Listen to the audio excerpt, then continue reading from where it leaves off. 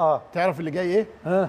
طيب معنا على الهاتف الأستاذ طارق الخولي رئيس مجلس إدارة بنك سيب والعضو المنتدب. أستاذ طارق أهلا بحضرتك. أهلا أستاذ إبراهيم إزاي الصحة؟ أهلا تحياتي وتحيات المهندس عادل القيعي. أهلا باشمهندس عادلي إزاي الصحة؟ وكل سنة وأنت طيب. وأنت بالصحه والسلامه يا فندم ما حرمناش من ذوقك كتر خيرك. الله يخليك يا فندم. أهلا بيك يا فندم. أستاذ طارق هذه الشراكة الحقيقة بين بنك سيب الراعي البنك الراعي الرسمي للنادي الأهلي وللكرة المصرية عامة الحقيقة حضرتك شايف دوره مع الكرة المصرية والاستثمار الرياضي بداية إزاي؟ بداية آه، أستاذ إبراهيم خليني أهني آه، منتخبنا بالتأهل لنهائيات آه، أفريقيا تصفيات كأس أفريقيا في الكاميرون 2021 وإن كنا كلنا زعلانين للأداء الحقيقة بس لكن الحقيقة بنهنيهم وبنقول لهم مبروك ومستنيينهم الأحسن. الحقيقة في وجهة نظري أنا man of the match كان كابتن محمد الشناوي الحقيقة هو اللي أنقذ صحيح. فريقنا من الهزيمة. حقيقة وإن شاء الله الجاي يبقى أحسن على كده حضرتك خبير كروي مش مصرفي. لا يا فندم إزاي؟ لا يا فندم؟ طيب. هو مصرفي. هو مصرفي. طيب. حضرتك بقى يعني رؤيتك لدور الاستثمار ومن خلال رعاية النادي الأهلي إيه؟ أول حاجة خليني أقول لحضرتك والباشمهندس عدلي إن العلاقة ما بين بنك سيب والبنك النادي الأهلي ليست آه، من الشراكة دي.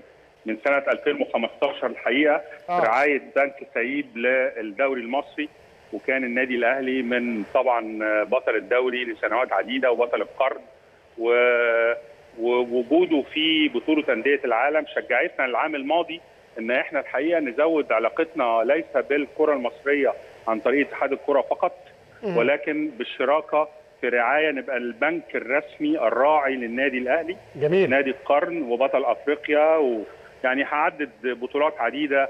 يعني كل أحباء محبي النادي الأهلي ومشجعينه عارفينها والرعاية دي خلت حقيقة زي ما قلنا في المؤتمر وشينا حلو كمان على النادي الأهلي في الفوز ببطولته المحببة الدوري وفي الفوز بكأس أفريقيا وكأس مصر.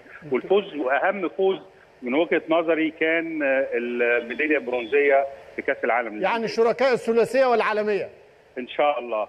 وبالتالي إحنا قررنا في الرعاية إن إحنا نزود بالاتفاق مع مجلس إدارة النادي الأهلي الحقيقة المحترم. رئاسه الكابتن محمود الخطيب اللي في وجهة نظري أفضل من أنجبته الملاعب المصرية مع كامل احترامي لباقي اللاعبين. أيوه وهقول لحضرتك في النهاية حاجة حضرتك هت والكابتن آه، والباشمهندس عدلي يمكن هتفاجئوا بيها. آه، الشراكة دي جت من مجلس الإدارة عن طريقين. بداية الاستثمار الرياضي في مصر. البداية الأولى هي إصدار البطاقات الائتمان ال credit card ال titanium أيوه. وال debit card بطاقات الخصم المباشر وبطاقات ال prepaid اللي هي سابقة الشحن باسم النادي الأهلي لمشجعي النادي الأهلي ولأعضاء النادي الأهلي ولأعضاء بنك saib ولكافه جماهير الكرة المصرية. جميل. على مخ... على مختلف انتماءاتها جميل. لانها الحقيقة بأنبذ التعصب وبأنبذ إن أنا أبقى جاست أنا بحب نادية لكن لما يبقى في نادي تاني بيلعب أحسن بشكل بقول كره حلوة يعني. تملي يعني معلقينا القدام بيقولوا الكره الحلوه والرياضة الحلوه أيوه. ف... فإحنا آه، استثمرنا كمان استثمار رياضي في تمويل النادي الأهلي. أيوه. كثيرة جدا في فروعه الخمسه اللي موجودة والفرع السادس اللي هيفتح في التجمع إن شاء الله. إن شاء الله. فكانت من مجلس إدارة النادي الأهلي ومن أمانة الصندوق آه، الأستاذ خالد درندلي زميلي وصديقي العزيز ومع الكابتن محمود ومجلس إدارة كانوا طرحوا مناقصة ما بين البنوك. دخل فيها أربع بنوك موافقة وزاره والسيد وزير الشباب والرياضة. للحصول على مصدر تمويل عن طريق العضويات اللي في صورة التقسيط العضويات الشيكات اللي النادي بيحصل عليها من السادة الأعضاء المحترمين. البنك دخل في المناقصة. فزنا الحمد لله بالمناقصه من أسبوعين وابتدى النادي فعلا يستخدم تلك ال ال الأموال مصادر التمويل. وأنا قلت في المؤتمر وبأشيد مرة أخرى بحاجتين. إحنا مش بندي النادي الأهلي عشان اسم النادي الأهلي بس إحنا بندي النادي الأهلي عشان الإدارة الحكيمة اللي موجودة. والإدارة الحكيمة دي خلينا أقول على مختلف أجيال وتعاقب مجالس ادارات النادي الأهلي. ليس في مجلس إدارة الحالي برئاسة كابتن خطيب فقط ولكن من مجالس الإدارة من أيام سيادة الفريق المرحوم عبد المحسن كامل مرتجي اللي أنا بتشرف إن أنا كنت يعني بعتبره أب تاني ليا. فالحقيقة الإدارة الحكيمة هي اللي بتخلي البنوك في الأول تقرر التمويل من عدمه. لأن هي اللي بيبقى عندها استراتيجية ورؤية في آه، كيفية إنها تنفق مصادر التمويل على متطلبات النادي. فلما ألاقي نادي عنده استراتيجية بيفتح فروع بيعمل استاد آه، المصادر الإعلانات عنده الرعايه آه، متعددة ومتنوعة. في لجنة استثمار برئاسه أستاذنا والمحافظ السابق للبنك المركزي الدكتور فاروق العودة. أيوة. فدي تكفي إن أنا أتوجه لهذا النادي وأعمل معاه الشراكة والشراكة دي كمان مش هتبقى نهايتها إن أنا أصدر كارت باسم النادي الأهلي وأعضاء النادي الأهلي ولا إن أنا أمول النادي الأهلي على الاشتراكات ولا أمول أعضاء النادي الأهلي فقط لا إحنا هنبقى شركاء في الاستراتيجية الجديدة كابتن محمود الخطيب ومجلس إدارته عندهم أفكار جديدة وافكار آه، آه، متطورة هنبقى موجودين معاهم جنب بجنب إن شاء الله وبإذن الله هنبقى يعني نصل معاهم لكل ما يتمناه النادي الأهلي ومشجعي النادي الأهلي ومحبي النادي الأهلي بإذن الله وقناتكم المحترمة الحقيقة اللي يعني بتخلينا كلنا ننجذب إن إحنا نبقى من مشاهديها والمعجبين بيها. الحقيقة حضرتك جاوبت على أكثر من سؤال أنا كنت هسأله لأن كنت حابب إن أنا أشوف كيف ستنمو العلاقة وتتطور تتطور هذه الشراكة مستقبلا فأنت واضح إن في خطة مع المجلس آه، هيبان أثرها آه، في الفترة القادمة. آه، يعني سعداء طبعا بهذه الشراكة. وخليني أضيف كمان بعد إذن حضرتك والباشمهندس عدلي آه. إن الشراكة دي فتحتنا آفاق وفتحت فتحت لنا إحنا كبنك المنتجات لأن البطاقات دي على فكرة بيبقى فيها مميزات عديدة. مش عايز أقولها على الهوا الفلوس قلت كذا وما قلتش كذا لا هتبقى موجودة في ال website بتاع بنك saib ال website. مشجعين النادي الأهلي في cash back اللي هي رد وخصومات على الاستخدام في متاجر رياضيه عديده جدا جدا عديدة جدا. في محلات كنت عايز عديدة جدا للشباب وللأطفال وللكبار لها انك تستخدمها خارج مصر وداخل مصر. تسحب بيها كاش بره وتسحب بيها كاش جوه من ال ATMs بتاعت أي بنك مش بنك saib بس. فلها مزايا متعددة جدا. والحقيقة دي فتحت آفاق هذه الشراكة فتحت لنا آفاق شراكة مع نوادي رياضية أخرى. طبعا. لأن لا التجربه ناجحة مع أكبر نادي في مصر. بالظبط. فأنا أنا أنا راجل مصرفي وأنا راجل بخدم بنكي واللي واللي بستفيد منه بفيده. ده ده الأساس. زي ما بيقولوا كده باشمهندس عدلي وين وين سيتويشن ما هو ده أساس نجاح. يا حاج. أنا بس حضرتك قلت جملة تهمني جدا وأعتقد تهم اتفضل. قطاع كبير من الجماهير والأعضاء. فكرة اتفضل. إن البنك من الأسبوعين اللي فاتوا يعني توصل إلى اتفاق لتقسيط العضوية الجديدة. أيوه. أيوه. ممكن تدينا بعض التفاصيل بسرعة كده عشان نحفز آه، الراغبين في الانضمام للنادي الأهلي؟ إحنا ال- ال- اللي إحنا عارفينه من مجلس الإدارة وشيف مجلس الإدارة التي أنا لا أتدخل فيها كما كبنك إن هو مجلس الإدارة بيسهل على العضويات في ال- ال- الأعضاء الجمعية العمومية للنادي الأهلي الجدد من يرغبون في العضوية بفئات معينة. اللي عايز يبقى الكارنيه بتاعه العضويه بتاعته في الجبلايه فقط أو الجبلايه وفروع أخرى أو فروع أخرى والجبلايه أو الفروع كلها. كل حاجة ليها قيمة مجلس. اداره النادي الأهلي بيقررها. نا- النادي الأهلي قرر إن هو تيسيرا على محبيه إنه ياخد جزء down payment أنا ما أعرفش نسبته قد إيه أعتقد 50% والجزء الثاني بياخده على سنوات. آه. ممكن ممكن up front سنتين ثلاثة يعني بيدي supplier facility أو بيدي تقسيط في ال- في ال- في دفع العضوية. فاللي بيدفع 50% يا باشمهندس عدلي بيبقى حريص إنه يسدد بقية القيمة يا إما العضويه هتسقط عليه عنه. طبعا. فالنادي الأهلي بيستفيد من إن الشيكات اللي على السادة الأعضاء المحترمين دول بيودعها عندي في البنك وأنا بمول البنك بمول النادي آه، بحدود تسهيلات وصل مبلغ كبير اسمح لي مش هقدر على الهواء عشان دي مم. للنادي الأهلي. آه، والنادي الأهلي على أوجه اوجه إنفاق محترمة جدا للتوسعات الخاصة بالنشاط الرياضي للمصاريف الجارية اللي هي بنقول عليها ال operating expenses مصاريف التشغيل لل الاستاد الجديد للفروع الجديدة لتجهيزات حجرات اللاعبين للمدرج الجديد اللي, أنا سامع النادي الأهلي بصدد إن هو ومجلس إدارة أعتقد الماضي أعلن إنه خد موافقة إنه هيجدد المدرج اللي في استاد كابتن أيوة. مختار التتش أيوة. الواجهة الخاصة ببوابه الشهداء ال- كل الحاجات ديت يعني الحقيقة إحنا لما بصينا حتى على موازنه النادي الأهلي كبنك وإحنا بندرسها لقينا الحقيقة الفائض اللي فيها لأن أنت زي ما حضرتك عارف إن النوادي لا تهدف للربح النوادي الرياضية الاجتماعية لا تهدف للربح لأنها تبع وزارة الشباب والرياضة بس أيوة. يبقى عندهم حاجة اسمها ميزان مراجعة ميزان المراجعة ده بتبقى أو الميزانيه بتاعته بتبقى الإيرادات والمصروفات وهي فايض يعجز لا سمح الله.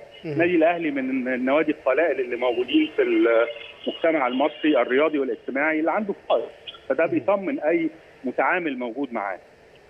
فالحقيقة الشراكة مش هتقف على هو كده هو بس. التقسيط حضرتك أرجع للنقطة دي. آه، هيبقى بفايدة بسيطة يعني مش مش كبيرة لا لا لا عشان طبعا لا نشجع طبعا. الناس لا لا هقول لحضرتك يعني بقى الأهلي يا بياخد. الكاش بتاعه ولكن العضو آه. بيستفيد بالتقسيط والبنك آه، طبعا الع- العضو ما بيتكلفش حاجة من النادي خالص بالعكس إحنا عندنا نوعين ولسه هنطلق إحنا كخدمة بقى تقسيط العضويات إحنا عندنا في في البنك تقسيط عضويات اشتراكات النوادي الهامة في مصر زي النادي الأهلي زي نادي الزمالك زي نادي الجزيرة زي نادي سبورتنج زي نادي الشمس زي نادي سموحة آه، زي نادي هليوبلس آه، زي نادي وادي دجلة بنقدر نقسط للافراد اللي عايزين يجوا بنفسهم ياخدوا قيمة العضوية ونقسطها لهم بعد الدراسة اللي بتتم عليهم وفقا لتعليمات الرقابية البنك المركزي.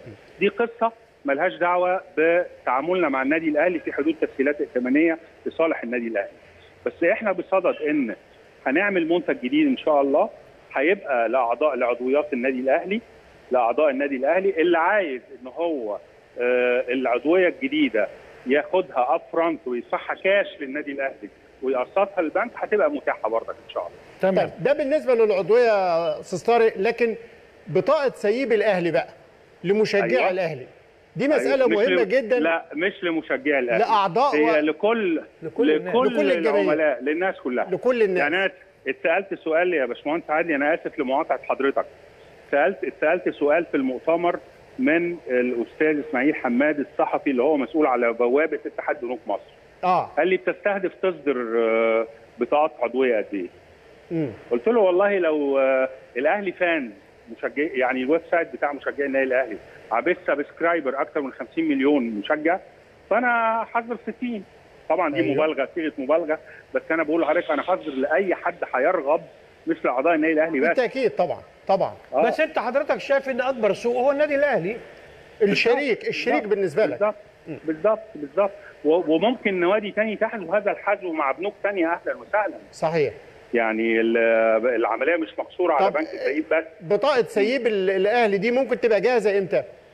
دي جاهزة دلوقتي ده إحنا من دلوقتي. ال ال إحنا يا فندم في المؤتمر آه. وزعناها وزعناها كومبلمنتري.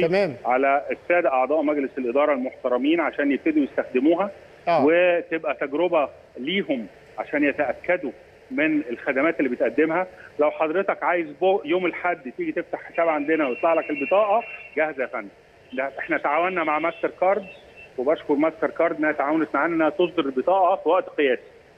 في وقت قياسي أنت عارف حضرتك الشركات العالمية دي لازم تاخد موافقات في إصدار بطاقات معينة صحيح. زي مثلا بطاقة ليفربول وبطاقة أرسنال اللي كانوا بيصدروا قبل كده هوت من بعض البنوك الأخرى. حضرتك قلت في البداية إن في في مفاجأة هتقولها لنا في الآخر اللي هي إيه بقى؟ الم- المفاجأة اللي هقولها لكم مع حبي الشديد للنادي الأهلي آه. ومع إن أنا يعني وأنا متربي في النادي الأهلي أنا من الجزيرة أنا جزيراوي زيك يا عدلي بيه. كويس؟ تمام. وحضرتك كنت المدير بتاعنا في يوم من الأيام أيوة طبعا في. الجزيرة كنا بنرسم بهذا.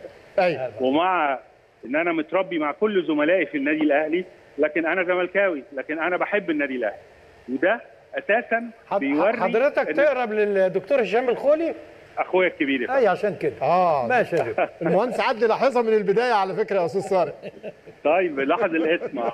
لكن أنا عايز أقول لحضرتك آه. دي رسالة لنبذ التعصب يا باشمهندس صحيح. طبعا طبعا يا فندم لأن أنا أنا وأنا بقولها حضرتك وبقولها بروح طيبة وبقولها بصدق وأمانة لأن أنا عيب إن أنا آه، أكذب على الناس. صح صح. أنا وإن كنت بشجع نادي الزمالك لكن أنا بحب النادي الأهلي لأن أنا اتربيت في النادي الأهلي وشفت قيم النادي الأهلي. أنا شفت كابتن صالح سليم بيتعامل مع الناس إزاي وأنا صغير. أنا شفت كابتن طارق سليم شفت الكابتن فريق مرتجي كان زميل أبويا في القوات المسلحة وكنت باجي له مكتبه وكنت بشوفه بيتعامل مع العاملين في النادي إزاي قبل ما يتعامل مع اللعيبة والأعضاء الكبار إزاي؟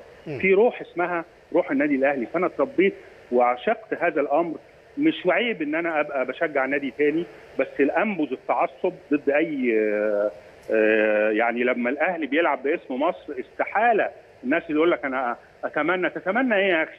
تتمنى إن مصر اللي بيلعب باسمها ما يكسبش ويفوز ويرفع علم مصر عالي. ده كلام دي أنا روح بقول لحضرتك دي روح وطنية هايلة ونجاحات سيب مش من فراغ واضح يا أستاذ طارق أنا أنا بقول لحضرتك منذ الب... أنا على فكره أنا الزملكاوي اللي موجود في إدارة سيب الوحيد على فكرة حضرتك. لا يعني ولما كل- حضرتك حبيت تروح للعمل المحترف والرعاية عملت المنطق والاقتصادي السليم ورحت لك وبمنتهى وبمنتهى النجاح. الصدق يا باشمهندس آه. وبمنتهى الصدق يا باشمهندس عادل ودي رسالة مهمة جدا يا جماعة الموضوع. أنا مش أهرام. وبتاع. أبسط من كده أبسط صحيح. من كده بكتير. والموضوع جمهورية مصر العربية. بالظبط. ليس الأهلي و- مش هختزله في أهلي وزمالك. طب ما الإسماعيلي كلنا سنة آه، آه، ب 69 كنا بنشجعه في كأس صحيح طبعاً. صحيح. وأنا كنت طفل صغير واشتريت التذكرة بخمسة ساعات عشان أروح أتفرج على الإسماعيلي. لا. فده دي جمهورية مصر العربية يا فندم. وأنا أشجع النادي اللي يرفع اسم بلدي. وبعدين عايز أقول لحضرتك حاجة أنا اتسالت سؤال من الزملاء في القناة عند حضرتك. ما أيوه. أعرفش اتذاعت ولا لا. بيقول لي إيه رأيك في كابتن محمود الخطيب كلاعب كورة؟ قلت له كلاعب كورة. ده كابتن محمود الخطيب من آه عايز أقول إيه؟ عايز أقول حاجة ما حدش قالها والله يا كابتن إبراهيم. كابتن محمود الخطيب مش من أفضل من أنجبته الملاعب من أمهر من أنجبه الملاعب في أفريقيا والوطن العربي. صحيح. ولو قلت على أوروبا وقتها مش هبقى بكذب لأنه كان مرشح يروح سانت تيان لو تتذكر حضرتك. آه. لا هو لو حصل الاحتراف بتاع اليومين دول كان كسر الدنيا.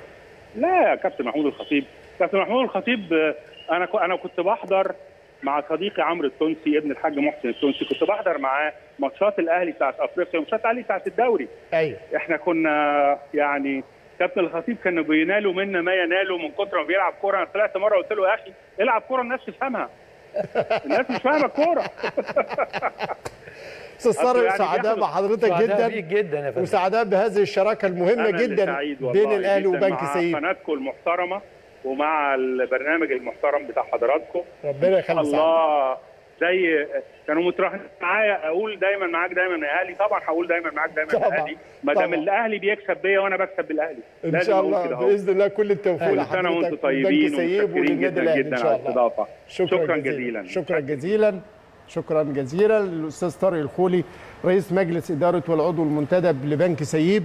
راعي النادي الأهلي والبنك الرسمي أنا عايز أقول بس كل المكالمة دي كمان على قدر تفاصيلها واهميتها آه. لكن الجملة الأخرانية بت- بتلخصها لا لي أنا بكسب بالأهلي والاهلي بيكسب بيكسب بيا. ودي الجملة المحترفة اللي بقولها للبهوات اللي طول النهار يقول لك الأهرام كابتن حسن هي في الآخر أهو راجل متربي في الأهلي ولكنه من أسرة زملكاوية أعلامها جيدا عريقة جدا عائلة كلها زملكاوية ولكنه لما جه في البيزنس راح للي حقق الفرص الأكتر.